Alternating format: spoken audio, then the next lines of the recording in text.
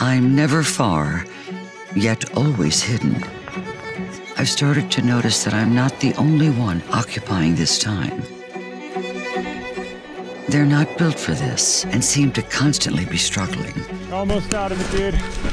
This is so gnarly. Oh my god, that was battle. A member stumbled astray and found my hiding place, and I quickly found the desolate winners, filled with this new host of residents. It's of no difference to me, but amazing to see the change it has made for them. Come